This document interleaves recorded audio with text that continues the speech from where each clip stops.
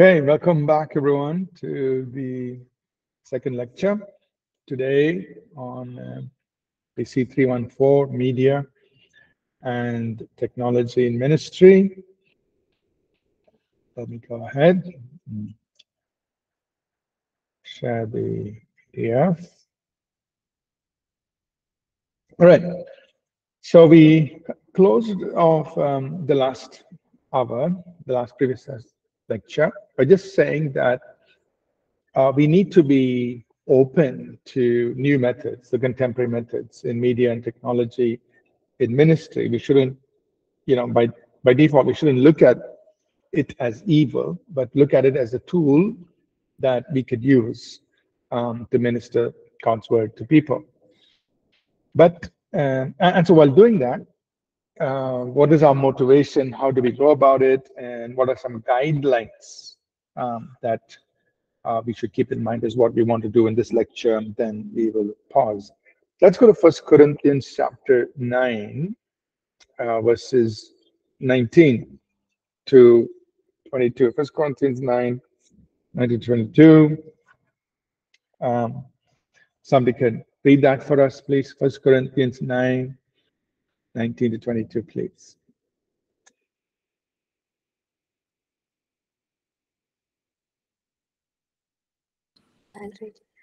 First Corinthians chapter 9, verse 19 to 22. For though I be free from all men, yet have I made myself servant unto all, that I might gain the more. And unto the Jews I became a Jew, that I might gain the Jews. To them that are under the law, as under the law, that I might gain them that are under the law. To them that are without law, as without law, being not without law to God, but under the law to Christ, that I might gain them that are without law. And to the weak I became as I, I as weak, that I might gain the weak. I am made all things to all men, that I might by all means save some. Hmm. Thank you.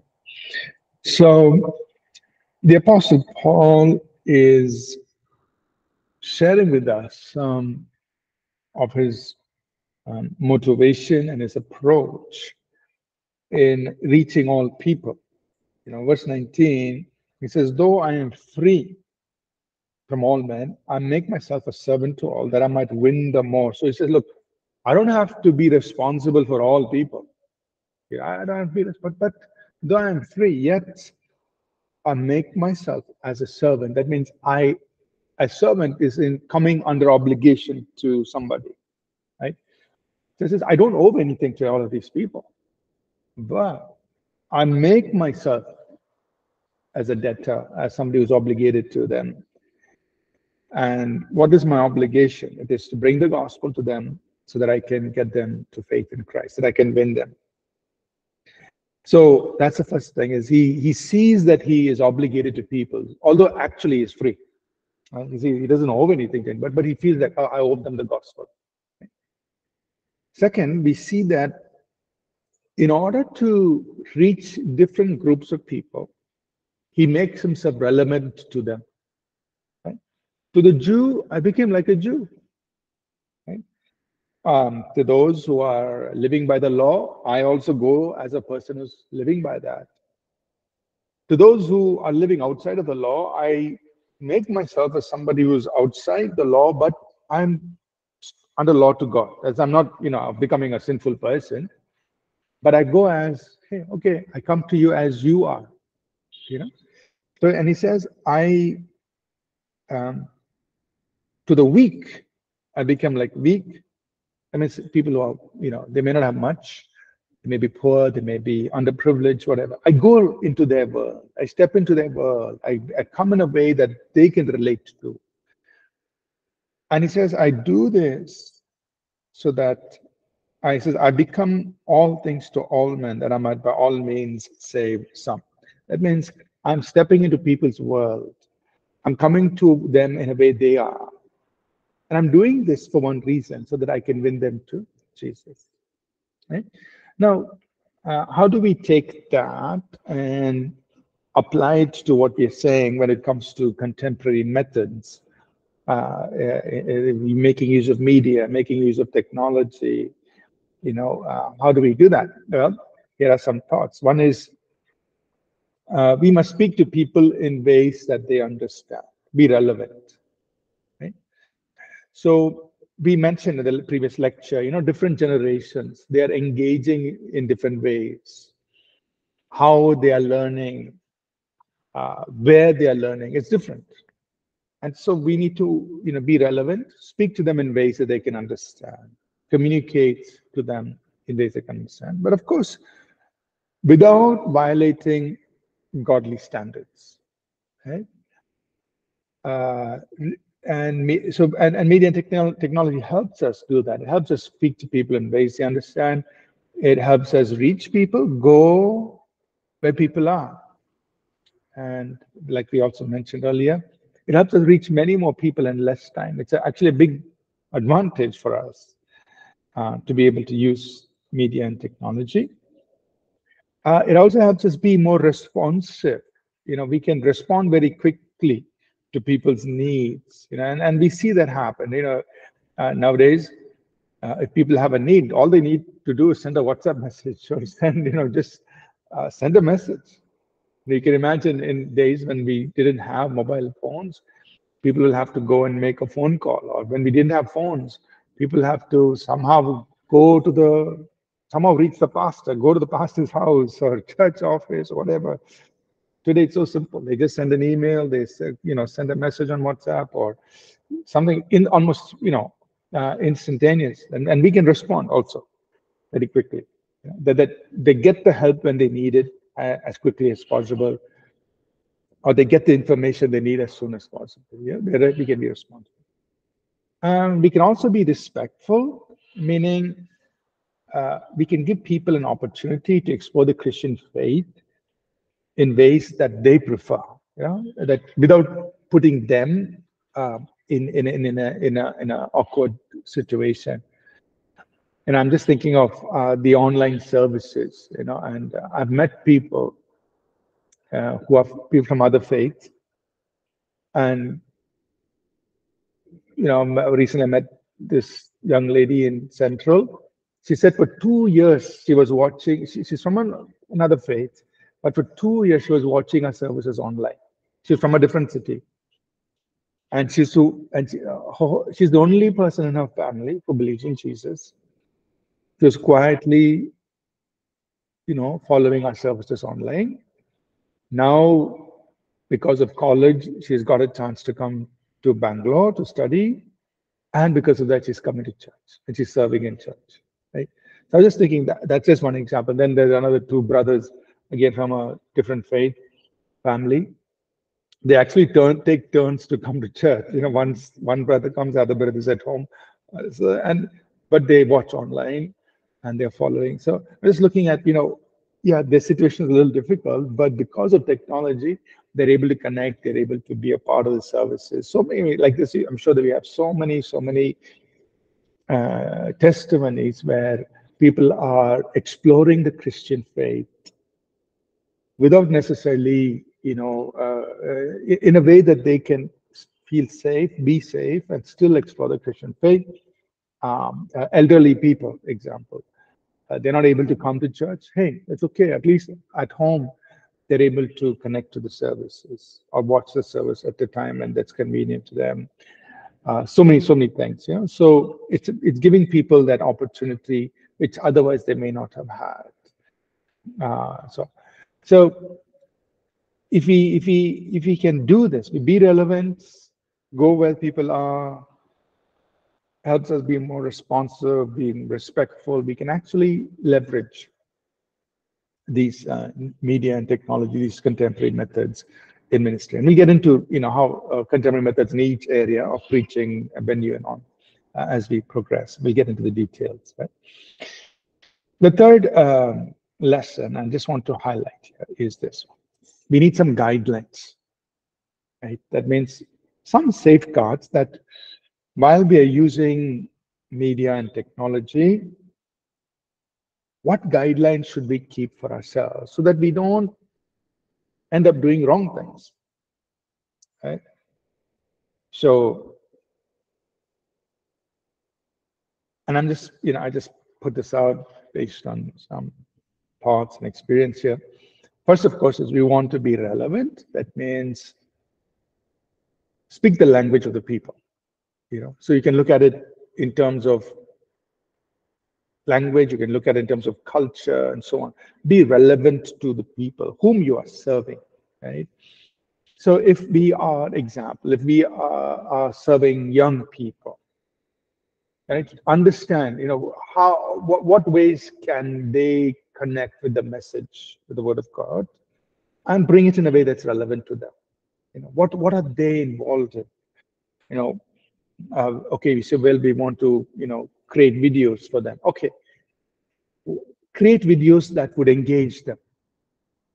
You know, create videos that address challenges that they are facing. Right? Uh, don't just simply create videos. Create videos that are relevant to your audience. Um, things like that. So that's one guideline. Understand the audience, address issues, address challenges that are relevant, and put it in a way and in a format um, that would engage them. Yeah? So we have to keep things relevant. But while we are doing that, there is no compromise in the message. Our message is God's words, right? So while the audience influences the methods we use, the audience cannot dictate the truth we deliver. Right? The truth we deliver comes from the Word of God. The method we use, the manner in which it is communicated, yeah, the audience. The audience will, the audience determines the method, yeah, because if you're speaking to a certain audience, speak to them in their language, speak to them in their in a way that they will understand, in a way that addresses their issues and their concerns and so on. But the truth that we deliver comes from the Word of God. That doesn't change at all and should not change. The danger is when we change the message. Then that's a problem. Right? So don't change the message. The truth is always remains as it is. And uh, Paul mentions, you know, in 1 Corinthians 1 18 to 25, we look at that passage. Paul says, you know, whether there are Jews or Greeks, we preach Christ crucified. We have only one message. It's about Jesus, what he did for us on the cross. And whether they are Jews or Greeks, they have different expectations. The Jews are looking for a sign, the Greeks are looking for wisdom, but we preach Christ crucified. And in that message, God will address their needs. It, that message is the wisdom of God, it's the power of God. So there's no compromise in our message, and we have to stay on it. And then we will we will we'll address this when we talk about sermons and worship and so on. Uh, we'll look at some of the areas where the church has made mistakes and how to avoid that. A third important thing, guideline, is we must be pure in our motivation. Our motivation must sim simply be glorify God and serve people well. Right? Serve to enrich, equip, and empower people. Right? That, so the tendency is uh, sometimes when we're using media and technology, what are the wrong motivations? Sometimes the wrong motivation can be, oh, I want to, you know, uh, become famous, meaning I want to have, you know, so many hundred thousand subscribers, or I want to have so many hundred thousand followers. You know, the motivation can become that. That's the danger to become an influencer, you know, a social media superstar, whatever. That's the wrong motivation. Or sometimes the motivation can be competition, meaning I want to be the, I want to do better than other church. I, want my, uh, my, my media and my social whatever that I'm doing, I wanted to be just better than everybody else. The motivation becomes, it's, it's more of competition, right? So these are the danger, the wrong kind of motivations uh, that could come into play uh, when we are using media and technology, which we should avoid. Sometimes the motivation can be, okay, let me see how many people gave me thumbs up. You know, how many people liked my sermon? Uh, I mean, it, you know, and we'll, we'll we'll we'll discuss that as well when we talk about social media and so on, how to really look at those metrics and numbers. But that again becomes a wrong motivation. You know, uh, so while we are using media technology, keep the motivation. Lord, we want to do this to glorify you and we want to serve people well. So, okay, let's do the best we can. Let's serve them the best we can. Let's bring it as good quality as we can. Not because we want to outdo bad uh, somebody else, or we be competing with somebody else. Not because we, you know, are trying to become rich and famous and all that. No, no, no, no. We're doing it because we want to serve the people well. We want to be able to impart into their life. You want to be able to communicate uh, and give to them. So let's do it well. That should be the motivation. So we need to stay in that pure motivation uh, uh, and not get caught up in some of the wrong uh, areas. Another important part, or another important guideline um, that we want to mention is, sorry, uh, we need to be blameless in our conduct. Right? That means how we use these tools and how we present and how what we present it should be blameless it should not bring a bad name to the lord jesus it should not bring reproach to the name of jesus it shouldn't bring a reproach to the church so that's why we have to be careful. And we also uh, you know have to be sensitive to who we are ministering to and so on. You know so uh, blameless in how we go about doing these things. And i'll also share as we go along simple things. You know i remember uh, you know and, and and and of course we made we've made mistakes and we learned from them. For example um, you know uh, there was a time when uh, they, when we had a graphics team, okay, they, they worked along with the publications team and so on. And uh, for our, our, I think one of our very earliest books, uh, uh Foundations, uh, I told them, I said, you know, I just designed a cover that is showing foundations being laid, like, you know, stones being laid. Uh, and that, that kind of captures the, the idea of the book, Foundations. And I left it at that. Then the book got printed, it came. And then on the book cover, our graphic design person who was working with us at that time, he had taken an image. I think some you might or you might have seen it, which has some pebbles, one on top of each other, like one big pebble, one small pebble, another smaller pebble, and small, small pebble, arranged like that. So what did I tell him? I gave him the idea saying, hey, just, you know, uh, a picture that shows foundation being laid, stones on one another. It's a good picture for the cover. Put that in, you know. So I left it. I didn't check. Usually I would check, but I didn't. I thought it was simple enough. But he went and got another picture, a graphic that shows stones being laid on top of each other. And it didn't strike me. I saw the book printed, it was already printed, cover is already done, everything is all, you know, a few thousand copies have already been printed. Then suddenly somebody comes, somebody, I don't know, I don't remember who exactly, but somebody come, hey, do you know what that image actually means? Uh, I said, I don't know, I'm just pebble. So that's actually some form of Eastern religion where they use those stones on top of each other. Oh, is it? And I checked. Oh, yeah. So that's, you know, some sort of a, I don't know, uh, it's something they, they, they use in uh, some Eastern religions, they, they put these stones on top of it. Oh, and we had printed that on our cover. So I'm just saying an example. This is just an honest mistake, but it was it was a simple thing, you know, just an image being used for a book cover, very simple thing, but it had meaning, and the meaning was something totally different. You know, so then I had to bring it back to the attention of our graphic designer. Say, this is what it means. It was it was a learning for all of us. and then they, you know, they came up with another curve, which was actually bricks being laid. you know, they said, that's what I meant. I meant bricks being laid, somebody building a foundation, not these things. So it was just an honest mistake, but I was getting that. And like that, there's been so many, so many things, you know, uh, over the years, we've made mistakes, we've learned.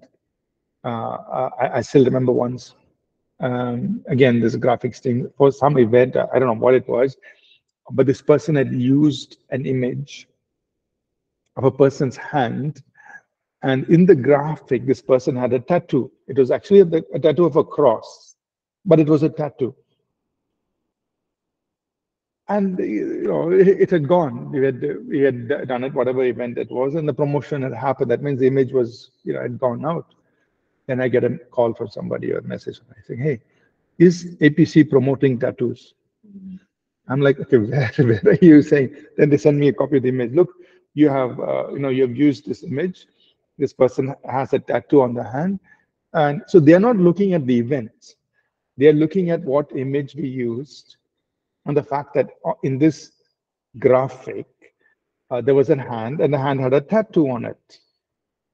And I was like, oh, oh, had to then call the, you know, the, the media team, explain to them, hey, see, this is, I know it's an honest mistake. Like we're not even thinking about this, but it's going out into the public. People are seeing it and they are taking this kind of a message from there that as though church is promoting tattoos and for us that's not a you know it's not something we even you know uh, involve ourselves in that's a way to immediately correct the graphic do some photoshop remove the tattoo and uh, you know send out the message uh, the graphic and so i'm just just giving some small examples where um, we have to think you know in in in in how we are using these tools, even in, I'm just giving simple example of graphics, uh, but in so many ways, we think, you know, what is the message that is getting out to the public? Now, we can't just say, hey, I'm just using the tool and I'm just creating a video and so on. Uh, what is the message getting out to the public in, in, in us using these tools? Is it, you know, is it sending a wrong message? Is it communicating an incorrect message? Is it bringing a bad name to the Lord Jesus? is it uh, bring a bad name to the church? So we need to be very careful, uh, very blameless in in our conduct, and we don't want to offend anybody. You know, uh, sometimes I've even got feedback on a sermon title. I think um, I, I, think there was one sermon or just a, I just I think I preached just an inspirational sermon. Our God is greater. And we have the song, Our God is greater, God is stronger, which we sing. But I just put that sermon title, and I and then there was a comment that you know maybe some person from another faith put it. Does it mean your God is greater than my God? Is you know? So uh, of course they're coming from a place where they don't understand what we're saying but that made me think, right, that when we are putting our message out in public, uh, that the sermon title should not turn people away. Know, we want to draw them in so that at least they come in and they explore the Christian faith. Now, the title was very simple Our God is greater. But how did this person from a different faith perceive that sermon title? You know, it was like, hey, you're telling me straight in my face, my God is of no use, right? So why should I even listen to your message? So then they, it puts them in a very defensive position. They want to listen to the message. They want to defend their position. And so it made me think, you know, um, even in selecting sermon titles, uh, we want to draw people in to at least hear the message and then decide, you know, and so on. It doesn't mean we shouldn't speak the truth. We speak the truth. Of course, our God is greater, but being sensitive to whom we are speaking to, you know, and how we speak to them uh, uh, becomes very, very important. So just different, different things that uh, we've, we've observed and experienced. Uh, the goal is to be careful, be sensitive to the audience, be blameless in how we use um, um, these tools of media and technology. And the last thought that I wanted to share with us here, when talking about some guidelines, is our goal is to seek lasting fruit. That means our goal is not hype, our goal is not emotionalism, our goal is not excitement, you know. So sometimes, you know, we can use uh, media and technology to make things so flashy, so exciting. Uh, you know, people get wow, um, uh, and uh, uh, sometimes we tend to, be, using the tools, we exaggerate intentionally or unintentionally. And that means we, we tend to give an impression of something much bigger than what is actually there, you know. Uh, and then that that that that first of all, it it means that we are doing something wrong because we are miscommunicating, and secondly, uh, it only excites people. But the big question we have to ask is: Is there lasting fruit? You know, have people's lives been really changed? So our goal is not excitement. Definitely, our goal is not to exaggerate, to create something bigger than what it really is. Our goal is, are people's lives really changed? You know? So we have to be careful that when we're using media and technology and we're communicating, because somebody is somewhere far away, they're watching the content, they don't know what the reality is on the ground. Uh, they could end up getting a very wrong, very different impression of what of what the actual thing is, depending on how we communicate. You know, so uh, and and this happens so much in video, videography, and so on. You know, you know maybe there are 50 people in the hall, but the way you position your camera, you can make it look like there are 5,000 people. You know, you give an impression. Oh, and so we got to be careful. Don't do that. You know, just just make it plain and simple. This is what it is. Let let what they see is what they get. You know, what they see is they should see the actual reality uh, without, you know, um, us uh, exaggerating, misrepresenting, and without unnecessarily creating hype and excitement. Our goal is to bring about genuine change in the lives of people, real fruit, you know, fruit that will remain. And so we have to be very careful. Otherwise, the tendency always is on media technology, you can make something look 10 times bigger and 10 times more exciting than what it actually is. And it leaves a wrong impression uh, and so on. So, example, um, there was a time when uh, at, at APC for worship, for a long time. You know, we never used lights and LED panels, nothing. It was just plain and simple. And then slowly we we started using lights. At one point, our team said, let's also use smoke machines. you can imagine. Um, now, I wasn't for it. Uh, I didn't want it. You know, I didn't necessarily think it was useful but they just wanted to try it. They tried out for a few Sundays, and then the re response from people was, "Why are you doing that? You know, what are you trying to achieve by you know using smoke machine on a on a Sunday service? What kind of what what are we trying to create?" You know, so that was a simple question, and that was like, yeah, more than easy answer. We don't need it, so we got rid of it. Okay, you're going to use color lights. Use very sim simple, nothing. Um, that is going to be distracting, nothing that's going to create unnecessary hyper excitement.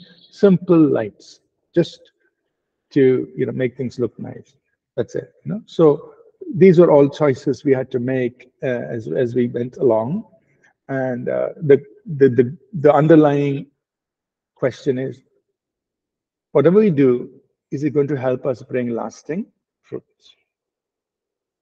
Is it just cause helping us create excitement? Okay, we don't need that. Is it just causing us to, you know, exaggerate, look bigger than what we are? Or no, we don't need that. Is it helping us to really touch lives, helping us to be more effective in serving people? Okay, that's a good thing. We'll go with that. So these simple questions that we ask uh, when making various decisions um, will will help us. Right? So just to recap and, and then close here, some guidelines that we need to always keep in mind. One, be relevant. Speak to the, use the tools, use media in a way that will help us reach our particular audience. Second, when we use uh, media, when we use our tools, we don't want to compromise on the message. Right? the message is still the word of God. You're going to preach and teach the word of God. Stay true to that. Third, the motivation. Why I'm using this must be pure, right? It is, I want to glorify God. I want to serve people well. That's it. Nothing else. Right? I'm not competing with anybody else. I'm not here for name and fame. No. Glorify God, do it well, bring some benefit to the people, equip them, empower them, enrich them, do some good to the people in their journey of faith. Okay. Fourth, be blameless. Right? And then use it in a way that it will not bring a bad name to the Lord or to his church. So be very, very careful. Be very careful. Because uh, media technology, once you're using it, once you put it out there, it, you don't know how many people are watching it. So many people see it. They, they can, you know, uh, it, they can get affected. It's impacting them. So we have to make sure that we are blameless, do it right, do it well. And finally, fifth point is the goal is not to create hype, not to create excitement, not to exaggerate. The goal is lasting fruit. Right? Are people's lives being changed? You know, yes, we want to create something that's engaging. We want to create something that's uh, that's captivating. Uh, we want to use all our creative talent. We want to use all our, our technical skill. All of it is good, but what are we trying to achieve? We want to create lasting fruit, not just an excitement, not just a hype. You know, um, somebody's life has to be changed. Somebody has to be strengthened in their faith. Somebody has to be encouraged. That is lasting fruit. So if we keep these guidelines, I think uh, it'll help us make the right choices, the right decisions, and it'll help us use media and technology in a in a very positive way for the glory of God and for serving people. Okay. So let me pause here. Let's um, open up for time for questions, discussions, uh, any any any thoughts you have, any questions you have. And uh, from next week, we'll start getting into you know various aspects of media technology that we need to cover. Feel free to ask any questions, any discussions.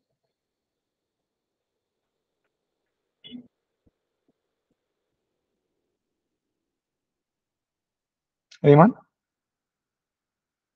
Uh, Pastor, uh, Yes. one small, small question. This is regarding uh, using uh, laptop or any other media for children's church. Uh, let's say, for example, laptop or tab or something for children's church. So there is one aspect that um, I know the screen time of children, and should we promote that or should we? Uh, how do we handle this? Can we use laptop or uh, tab in a small group of children's church or? Um, Hmm. Yeah. So I think uh, so. The answer to that is I I think it's simple in the sense that see, uh, children's church, you know, maybe maximum is for a duration of uh, two hours in an entire week, uh, and uh, there um, we, you know, if, if we use a laptop or you know have kids watch um, a video or a short short video or uh, something of that nature on you know on a screen it's it's it's actually very small time. You know we may I, I don't know i'm just guessing you know maximum we spend half an hour 40 minutes not you know more than that. So if you look at it in terms of the whole week that's only a small part which i think is is perfectly fine there's nothing wrong with it um, the real issue is when they go home, what do the parents do? Because they're obviously spending more time at home seven days a week. And that's where screen time becomes an issue, meaning if parents are using the phone or the laptop or the computer or whatever screen device uh, and letting the children just consume that for hours and hours and hours, that is a problem. In church, it's basically maximum they're there for two hours um, out of which you know we may show a video or something for maybe 30 30 minutes or less so it's overall, it's not a big thing. Um, but so, so in a nutshell, that's not a problem. But at the same time, as a community, we can think of you know other skills that we also want to develop for the children. Uh, we want them to develop social skills. We want to develop uh, you know their ability to think uh, about the scriptures, their ability to worship, their ability to to discuss the scripture with other children. And so this showing a video may be only a small part. We may show a video and say, okay, then discuss about the video. You know, what do you think about it, or what was nice about it? Uh, what did you learn from it? So um, we are also spending time doing the other things uh, of uh, interaction, prayer, worship, fellowship, uh, in addition to maybe watching a video. So we are, we, we, we, we're doing something very wholesome. A video is only a small part of it. And uh, so it is uh, not a, I, I don't see it as a problem. Yeah. Yes, Pastor. Thank you. Nice. Any, any other questions? Any other thoughts?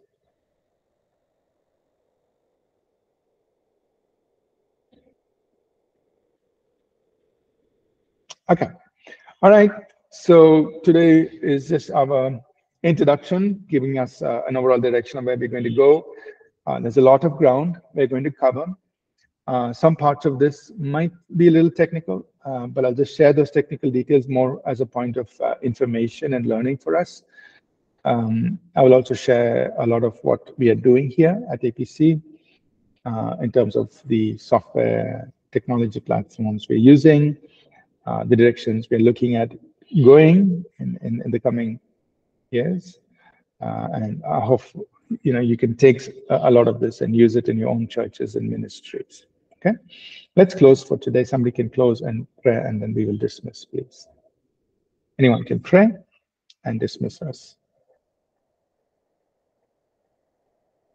Father, we thank you for this uh, morning that you have given us to learn together. Thank you for this this course that you have given. We pray, O God, that we would uh, continue to learn well and to adapt this in our ministry, in our personal life. And we pray, O God, that let your kingdom be established in every area of our life, God. May your name alone be glorified in and through us. We give you praise. In Jesus' name we pray. Amen. Amen. Thank, Thank you. you. so much. Thank you, everyone. Hope we have Happy- taken attendance. Hope they have taken our attendance. Uh, yes, yes, it's um, automatically recorded by Google. So Google Classroom Uh-huh. records uh, Hope it's okay. everyone. Yes, so Thank you so much. Thank you. All right. God bless. Enjoy your day.